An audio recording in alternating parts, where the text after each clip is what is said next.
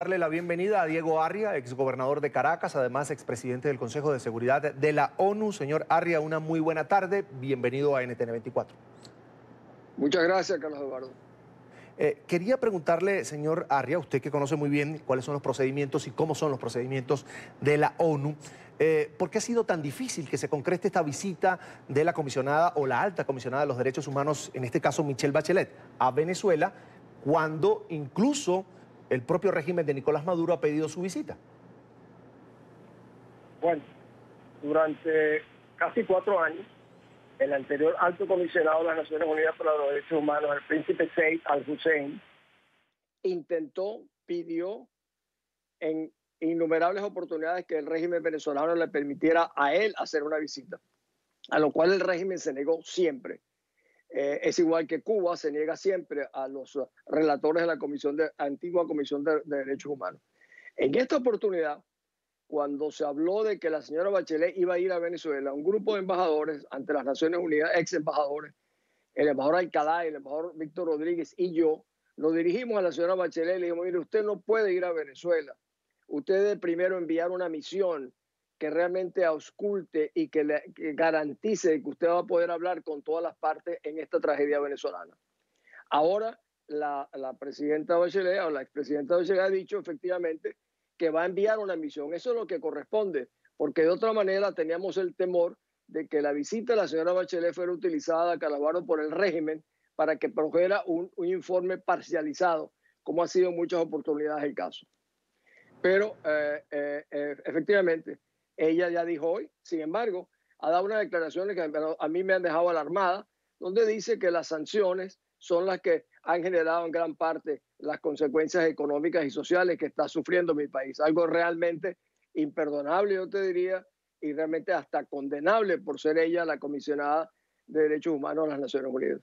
Ahora, hablemos del trabajo de esta comisión técnica que llegará a Venezuela a partir del 10 de marzo. ¿Cuántas personas? Eh, ¿Qué harán? ¿Cuál es el procedimiento que aplica ONU cuando se trata de una visita como esta? Bueno, en este caso tendrían que tener libertad para ver a todas las partes. Eh, es la primera vez que se va a hacer en Venezuela. Te repito, durante 20 años lo han impedido. Eh, es, es, el mismo caso, yo decía, de Cuba, de Irak, de Corea del Norte. Todos los países represivos, dictatoriales, utilizan la misma modalidad. En el caso venezolano tendrían que ver a todas las víctimas eh, y no solamente relacionarse con el gobierno y por tener la capacidad de, sin estar controlado por el régimen venezolano, visitar a, todas las partes. esa es la modalidad, Carlos Eduardo, no hay otra. Doctor Arria, eh, hay quienes piensan, algunos analistas, además políticos, que el escenario de ONU no es el indicado para tratar la crisis de Venezuela, porque incluso el canciller del régimen eh, ha conformado, de alguna manera, ha logrado el respaldo de más de 60 países que hacen vida allí en la ONU para, de alguna manera, eh, eh, buscar apoyo político para el régimen de Nicolás Maduro. ¿Usted cómo lo ve? Bueno, hay 193 países en las Naciones Unidas. y yo estoy seguro que nosotros tendremos la mayoría de apoyo, a pesar de que, como conoce, las Naciones Unidas no se distingue precisamente por tener una mayoría de países que vivan bajo democracia, sino por lo contrario.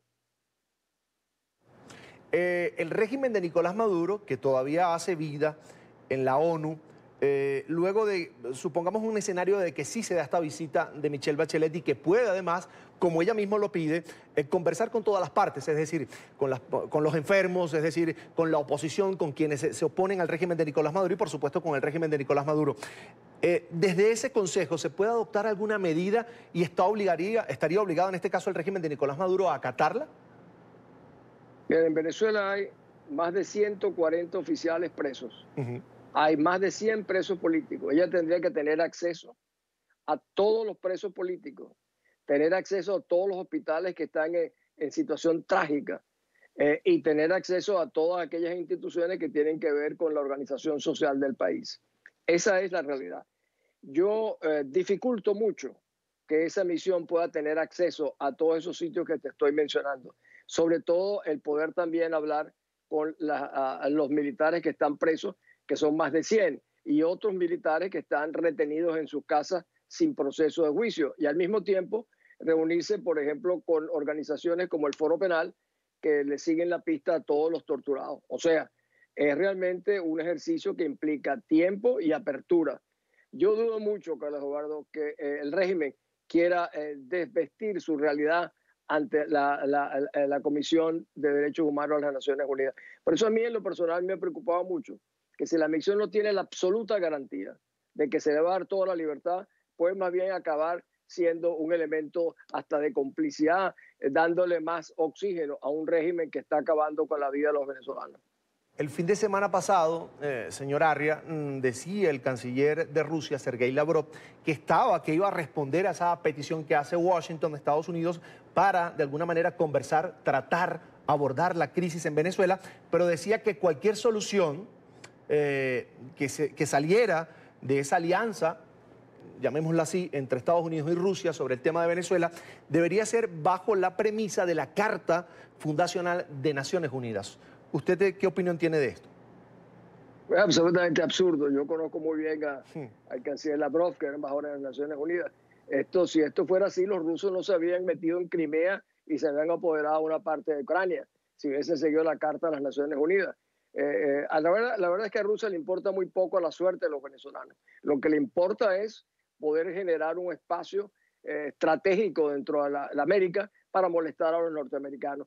Y eso lo han demostrado en las reuniones del Consejo de Seguridad, donde el tema de Venezuela casi para ellos es marginal, es una excusa para enfrentar a los Estados Unidos. De hecho, Carlos Eduardo, estamos, quieren meternos en una especie de guerra fría, pero no les interesa el tema venezolano, les interesa cómo molestar a los americanos. Y eso es decir que siguen la carta, evidentemente los rusos no son las personas más adecuadas para recordar eso.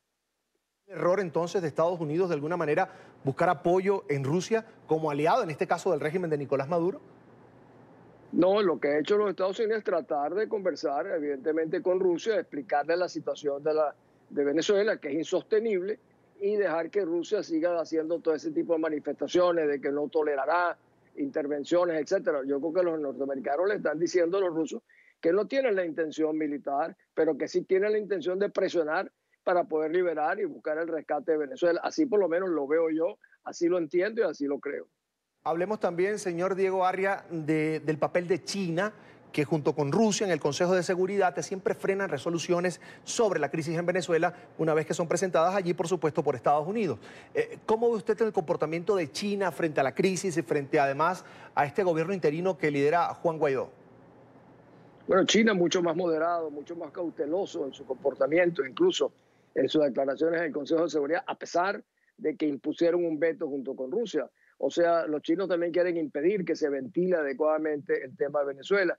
Ellos sí tienen intereses económicos reales muchísimo más importantes que Rusia, no solo porque son acreedores de 20, 30 o 40 mil millones de dólares, nunca lo hemos sabido exactamente, ni lo sabremos hasta tanto no rescatemos la libertad, son mucho más cuidadosos y por supuesto lo que les interesa es ver cómo preservan sus intereses. Eh, yo he oído al presidente encargado de Venezuela, Guaidó, decir que le han manifestado a China que preservarán sus intereses.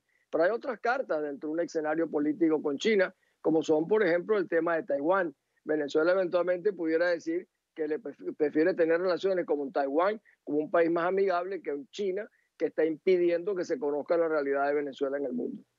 ¿Y debe Juan Guaidó acercarse a Rusia y a China para también, de alguna manera, eh, obligar al régimen de Nicolás Maduro a reconocer la Constitución, lo que manda la Constitución y, por supuesto, este gobierno interino? Por supuesto, yo no estoy en posición de darle consejo al presidente Guaidó, pero me parecería que lo que tú estás señalando es muy razonable. Bien, vamos a agradecer a Diego Arria, exgobernador de Caracas, además expresidente del Consejo de Seguridad de Naciones Unidas, por compartir con nosotros estos minutos aquí en la tarde de NTN 24. Gracias, Carlos Eduardo. Hasta pronto, señor Diego. Son